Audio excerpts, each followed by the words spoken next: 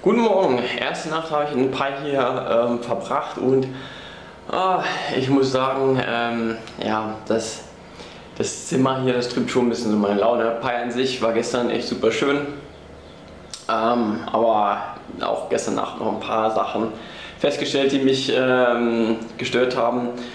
Zum einen ist das Fenster nicht so ganz dicht, da kommt dann auf einmal so ein kleiner Gecko rein, der dann die ganze Zeit an der Decke rumläuft. Das äh, ist irgendwie ein bisschen uncool.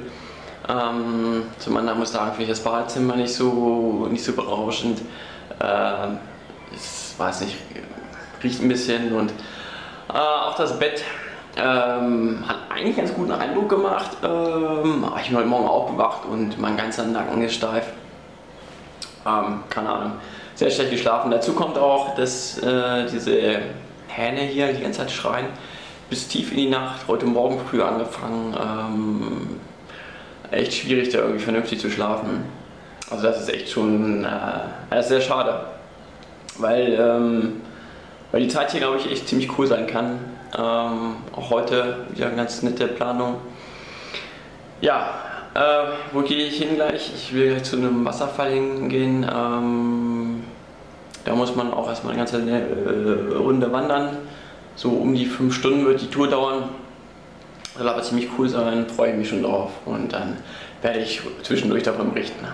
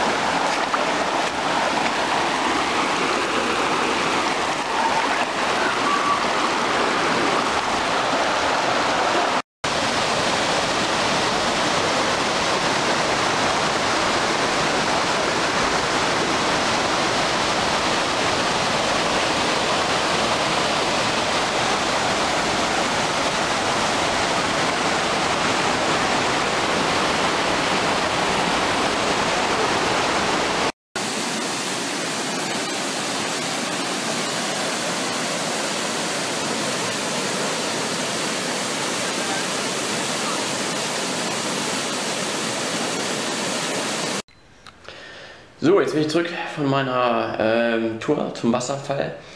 Und ja, ich muss sagen, war, eine ziemlich gute Geschichte.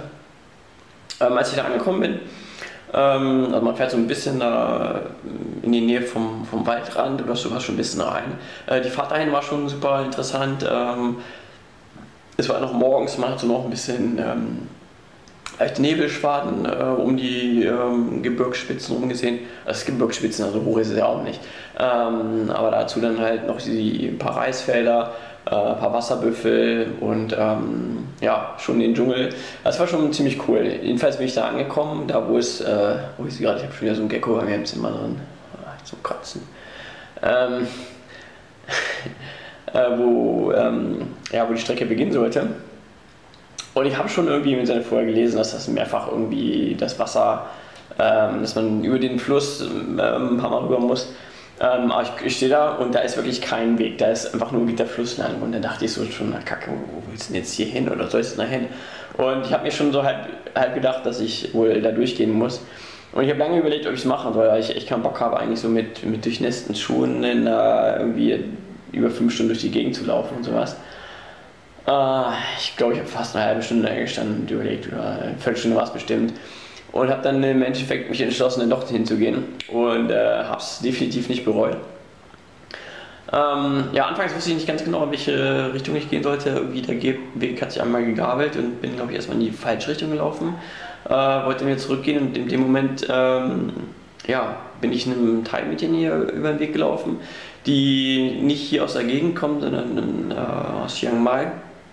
Ähm, auch zum Wochenende hier zu Besuch ist und auch dahin gehen wollte und wusste auch nicht, wo sie hingehen musste genau. Und ähm, ja, jedenfalls sind wir zu zweit gegangen. Ähm, das war ziemlich, eigentlich ziemlich coole Sache.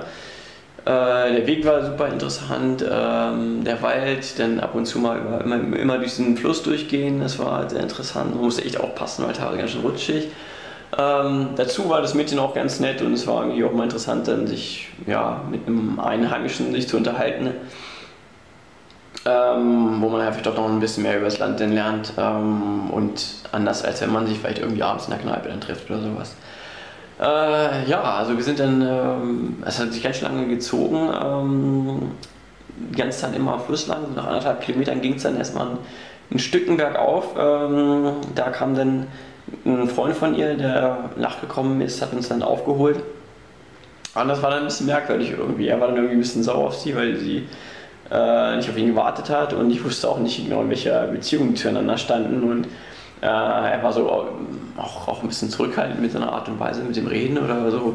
Das hat irgendwie so ein bisschen, äh, ein bisschen die Stimmung ein bisschen kaputt gemacht zwischenzeitlich. Äh, er ist auch ziemlich schnell dann immer vorangelaufen. Also vorher hatten wir, denke ich, immer ein ganz gutes Tempo, dass wir uns, ähm, dass man gut vorangekommen ist, aber gleichzeitig noch sich gut umgucken konnte.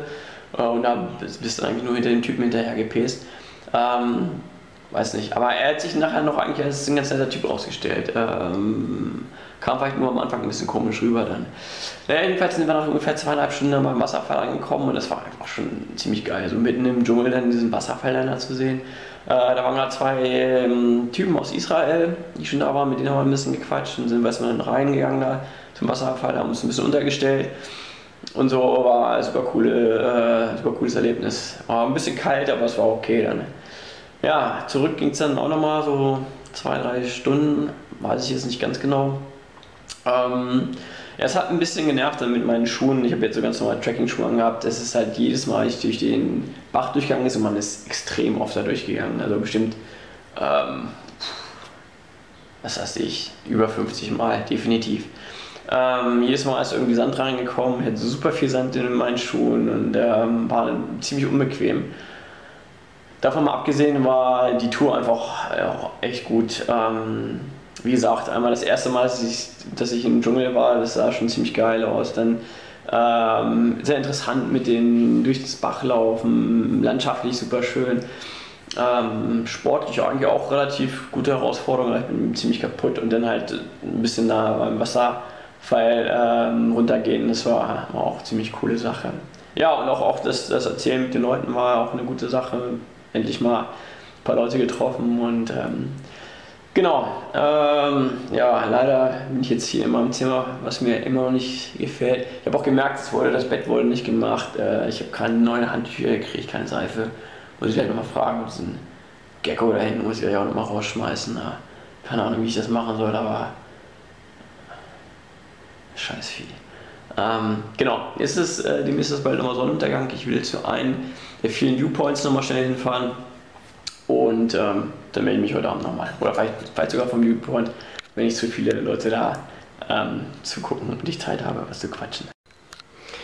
Ja, guten Morgen. Äh, gestern Abend habe ich leider nicht mehr gedacht, noch ein Video zu machen. Ähm, ich war noch unterwegs, ich war noch kurz äh, zu einem höher, höher, gelegenen Tempel, von dem man einen ganz guten Ausblick hat, um mir den Sonnenuntergang anzuschauen.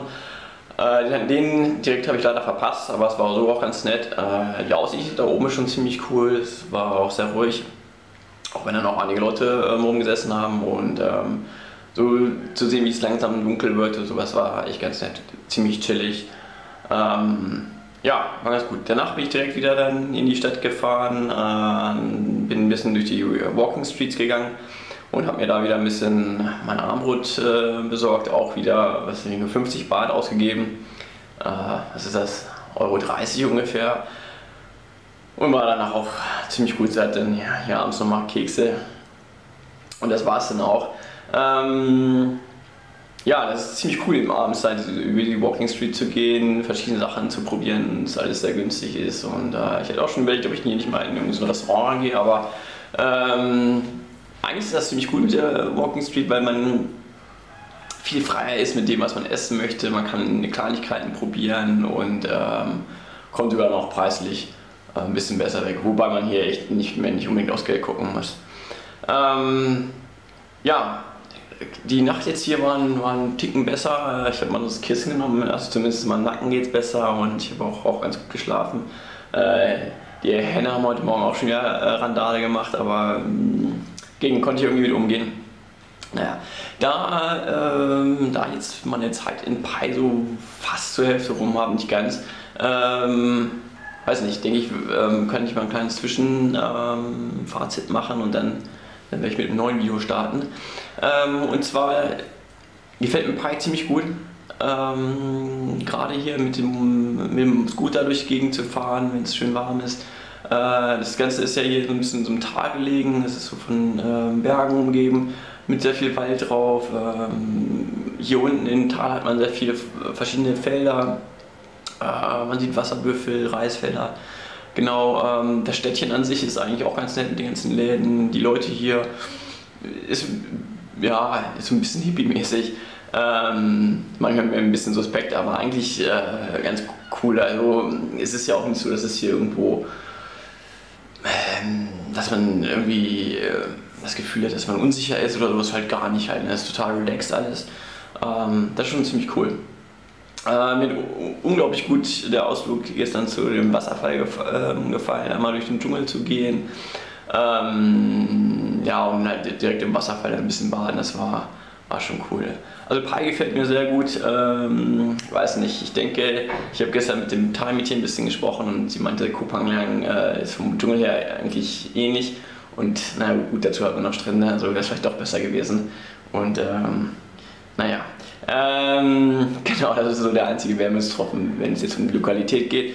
Das, ja, ich habe es ja schon mehrfach erwähnt, dass ich mit meinem Zimmer nicht so, äh, nicht ganz so zufrieden bin und äh, ja, wo ich hier wohne. Äh, ich habe mich so ein bisschen mit arrangiert. Es ist okay, sagen wir mal noch so. Es drückt manchmal noch ein bisschen auf die Stimmung, gerade wenn man abends nach Hause kommt, man ist erschöpft und braucht irgendwie so einen, einen vernünftigen Rückzugsort. Äh, man kommt hier in diese kahle Bude rein und das ist nicht ganz so cool, aber es ist okay. Insgesamt ist es eine gute Sache hier in Pi. Ähm, genau, und dann werde ich mal schauen, was, was denn jetzt demnächst noch ansteht. Ähm, genau, ich habe irgendwie zwischendurch, weiß nicht, ob ich jetzt, wo ich sie reinpacken werde, noch ein paar Videos von ähm, dem Weg zum, zum Wasserfall. Kann sein, dass ich sie jetzt entweder im Anschluss dazu packe oder ähm, vielleicht habt ihr sie ohne Aufforderung schon vorher irgendwann gesehen.